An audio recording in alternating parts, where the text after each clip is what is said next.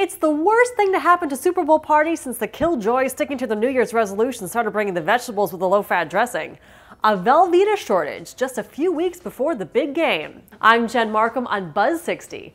If you're one of the red-blooded Americans who can't imagine a Super Bowl party without a trough of some sort of cheese-ish dip, then you might want to stock up on your favorite pasteurized prepared cheese product now. After reports of empty Velveeta shelves at several East Coast grocery stores, Kraft Foods is confirming there is a Velveeta shortage because of, quote, high demand at this time of year, and the shelves could stay empty for another few weeks.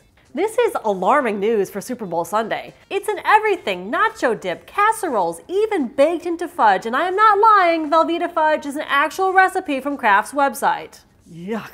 Call me cynical, but a press rep confirming a shortage? Sounds like Kraft could be orchestrating this just to stir up nostalgia and demand for the stuff. Just remember, Velveeta, you may be yellow and 100% processed, but that doesn't make you a Twinkie. Buzz 60. Now you know, pass it on.